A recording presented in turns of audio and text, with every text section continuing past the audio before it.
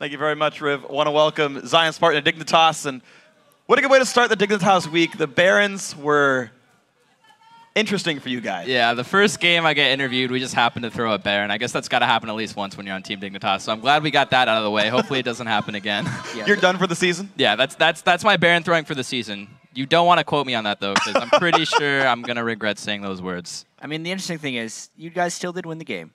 That's the benefit. You stayed positive. You were able to win through the game. I mean, what was actually happening as far as the miscommunications at those Baron fights? Um, a lot of the miscommunication is just that we weren't we had good ward coverage, but we weren't being adamant enough about our picks and what we wanted to do. For example, like one of the Barons where they got the Baron, we weren't sure on whether we wanted me to TP or not, and then the call was for me to not TP, like the team established that. And then when I didn't teleport, they got the Baron, one of us died, and we just kind of, there was a lot of sloppiness from us there, and I think that's not what we had practiced a lot. And I feel like there we could have ended the game like 20 minutes sooner there. I feel like there was just so much like we could have ended the game there, could have ended the game there, could have ended the game there, but like we just mistake after mistake after mistake made this game like a 20 minute toss up and it's like who's going to win who's going to throw at baron and um, mm-hmm.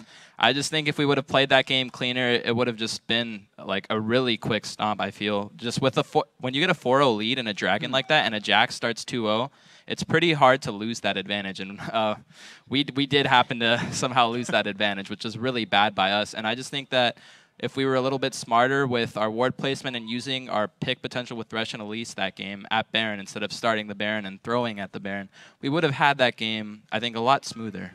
But I'm glad we won. I just think that we definitely need to clean up our play if we want to be able to take down Cloud9. Yeah, who you guys are actually playing later in the day. So you got another one ready to go. And honestly, your early game is looking very good the strength of your team as a whole too. Your, yourself and Shiphtur joining Dignitas seems like a fantastic thing on paper. How's it been working out in practice for you guys? Um, I agree that our early game is really strong. We've been scrimming some of the top teams and having really good laning results. And again, um, it just comes down to meshing as a team. Whenever you have a new team, it's kind of hard to get used to playing with each other. That's why everybody thinks the older teams are better. They have more experience, they have more knowledge. We've just been a team for two weeks, and I don't like to make any excuses about anything. I'm not saying we're going to get better, but I think there's a lot to improve in terms of um, having cleaner plays in our later game and just having a smoother transition. And I think smoothing that transition from early to mid game is really what's going to make us one of the top tier teams. And I think once we can get that down a little bit more, we'll definitely be one of the best teams in the NALCS. All right. Okay, so then speaking about kind of smoothing out some of your plays, we actually have a couple of replays. Uh, traditionally, of course, they are at Baron. If we can pull the first one up on the screen. favorite. I mean, they were the big fights, right? So uh, walk through this one. I think it's about 25 minutes in, so I think it's the first of three Barons. Uh, All right. Walk us through this fight. Sure. So we start the first Baron, I'm pretty sure that we go for. Um, we know that uh, they've got Ori and Twitch, so we don't want to pile into them. Thresh puts up the box because we call to finish the Baron. Um, I'd say that's pretty risky because what happens as a result is we're all stuck in the pit and they have an Orianna and a Twitch. And what happens when they have two hyper carries that are really good at killing people in, in enclosed places is that they die. And what happened, that's what happened there. We just got demolished by Orianna Twitch AoE. The ball sucks them in, the the spray and pray kills everyone, and then good guy KiWiKiD trying to get me out, but I'm like, okay, I'm dead. I'm just gonna kill Altec here. Yeah. And I did a lot of that that game where it was like trading one for one when they were sending a lot of people at me, and honestly, trades like that aren't worth it because when they're ahead of the game, they're gonna look for anything they can get, and wasting their time is better than giving them that kill. And they got a lot of kills like that in that game, not only for me, from other people on the team as well, but we need to cut things out like that to have a smoother game. And we knew what we wanted to do with that Baron there, but it just it was extremely poorly executed. Yeah, I mean, you mentioned these are things to improve upon and learn from. And when you kind of watch that clip again, uh, you mentioned it was a very risky play, all of you being in there against the Twitch and Orianna. If you were to do it again and say you were actually making the calls, which I'm not sure exactly how it's still working on Dignitas right now, how would you have done that differently to make it smoother?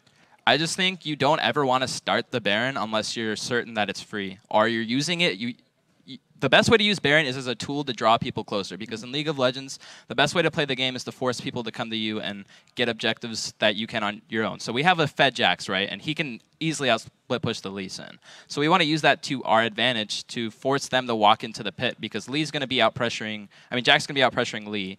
Um, the other four can then walk in and control the topside jungle. When you have complete vision control and you have to face check into an Elise Cocoon and a Thresh Hook, Morgana's not going to be able to black shield everything. So you're going to get a pick at some point. When you get that pick is when you actually start going for the Baron. If they come, I mean, if they don't come, then that's great. Get a free Yeah. Baron. If they do come, then you have to have the have the call to go in at the right time because it depends on the team comp. Um, but if they have an Orion and a Twitch, you don't want to be grouped up in the Baron pit. And I think we did a really poor job there of um, being grouped up in the pit a lot of the times. And if we had just cleaned up our Baron play, I think that game would have been 10, 15, even 20 minutes sooner.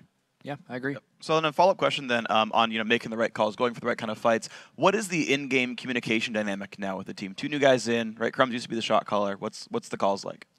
Um, I think the call is really different on the team. Different people make the calls. I definitely communicate a lot, and that's a good thing. But when I'm split pushing a lot, like I was, especially that game on a Jax, like I'm not making as many calls. So my communication is more focused on okay, I've got vision out bot side. Here's who's bot side.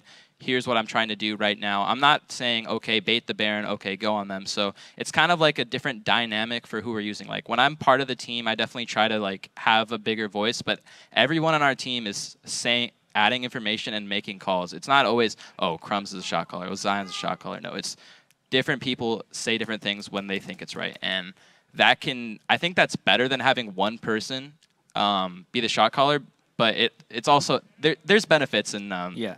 It uh, creates a lot of yeah. chaos for one It thing. can it can create chaos, but if you're really good at using it well and everybody respects everyone's opinion, then you can have a really fluid team. But it really depends on the dynamics of the shot callers and basically just how good the communication of the team is as a whole. Yeah, and unfortunately, we are going to pull up another Baron fight. Just My to maybe favorite. talk about the communication that happened uh, leading up to the Baron fight, because we're all curious. Let's pull this up on the screen. This was the 35-minute Baron fight, Zion, Okay. and Oh, with this is the obviously Fog of War toggled. So now you get to see what EG saw. But walk us through this one. Okay, so is this the last Baron or the? This one was at 35 minutes, I believe. Okay, yeah, the second is- to last Baron that he stole. Yeah, this is the Baron where um, I could have teleported in and we would have gotten it for free, but we made the call for me to not teleport in. That resulted in them and them getting the Baron, and then us just being set up to get picked out. Um, we do end up picking Krepo, and then I go suicide for the inhibitor, but that was just us making the best out of a bad situation. And when you have an advantage, you don't want to be the ones making bad trades. You want to be the ones making only good trades and not losing anything. So that was again just we had poor. Um, we just had poor ward coverage and calls later on in that game, but I think we, that can be easily fixed because I think we have the right calls to be made. We were just getting really greedy with trying to make multiple plays happen across the map, and that led to us being a little too quick on the trigger. And I'm kind of glad we got the Baron through out of the way because Yeah. I, I, I, don't, I don't want that to happen in our game against Cloud9. It's on cooldown for at least a week. You Yeah. couldn't even use it if you wanted to. It's not once actually Dignitas possible. throws at Baron once, it can't happen again for like another another couple weeks at least. Another you know? couple weeks. So week That's four is the next. Yeah, just Baron like week throw. four will be the next time you see us throw a Baron. You can quote me on that. Okay. And uh, if it happens before that, then shame on. Shit. You you shouldn't have brought CDR. That you brought the right mastery page. Yeah, you guys. Yeah. exactly. there we go. Okay, so then let's. I, I want to kind of keep talking to you guys about um, sort of your shot calling and whatnot because um, obviously it wasn't the perfect game for you guys. Uh, so Scarra being uh, stepping down from the mid lane, being a coach here, how is he working with the team? Is he helping you guys formulate strategies, how to close out games, uh, improving your communication? What does he do for you guys? Um, yeah, basically Scarra, and we also have another new guy, uh, Comely Cast, Drunk Scarra, Scarra's alter ego, if you know who that is, also helping us out, and uh, he's kind of more like the macro guy, and we have also Scarra, who's been a pro player. The best kind of person to have um, as your kind of coach is the person who has the most experience. So Scarra is a really good person because good person for the coach role because he understands the game very well and he just kind of helps us with everything generally. Like he's really good at helping Shiphtur with just like the mid lane like down to the mechanical level about like the matchups mid and then he's really good like on a more team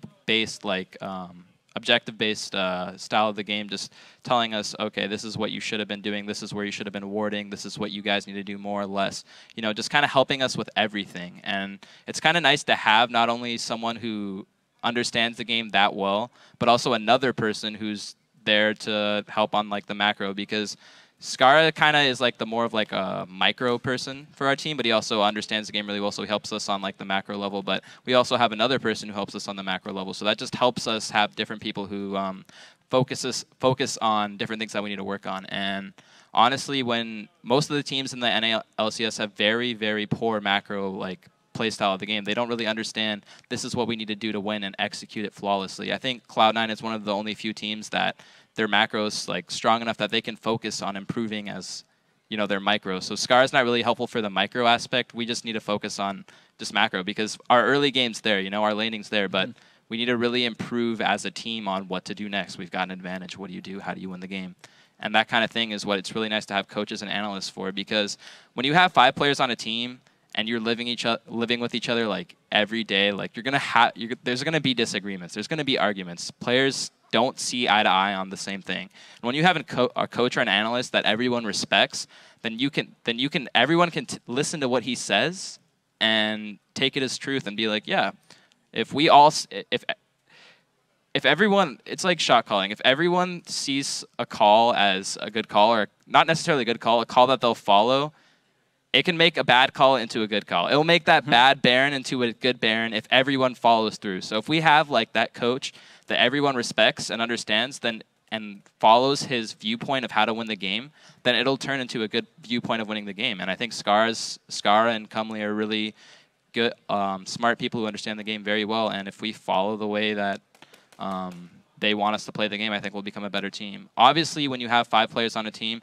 there's already a play style in place, so you can't really um, you can't really take that play style from them because that's what makes the players who they are. But um, you can kind of help nudge them in the right direction. I think that's what's really great about coaches and analysts. All All right. right. Well, the Brian, spirit of Dignitas and the coach threshold. It's nice you get the multiple perspectives look on things. But now, third game of the day you won, fifth game of the day against Cloud9. What do you do in the one hour you have in between games to try and prepare last last second?